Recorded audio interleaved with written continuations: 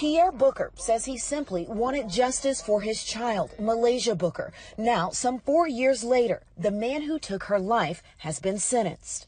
I didn't want him to die. I didn't want him to take death penalty. I just wanted him to go somewhere where he could sit and think about the trauma that you caused other people's family. 37 year old Kendrell Lyles pleaded guilty to murder for the 2019 shooting death of Booker, a transgender woman. Pierre says Muhlaysia was looking forward to moving on with her life until it was cut short by Lyles. 48 years. Do you feel like that's justice?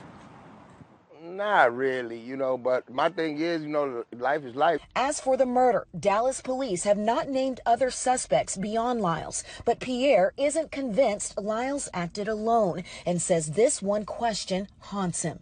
The only thing I really want to know is what was my child's last words before y'all committed y'all's act? Did they beg for their mama? Did they beg for me? Did they beg for granny, papa, or something? Lyles will face Booker's family this week during victim impact statements before completing his 48 year sentence. Pierre Booker says he carried a heavy burden following Muhlaysia's murder. I was like, man, maybe something I done when I was younger is this punishment for what I done. That's how I felt. Now he's thankful to see justice as he learns to live without her. We needed you, but God gave you a better job. He needed you more than we did. In Dallas, Candace Sweat, NBC5.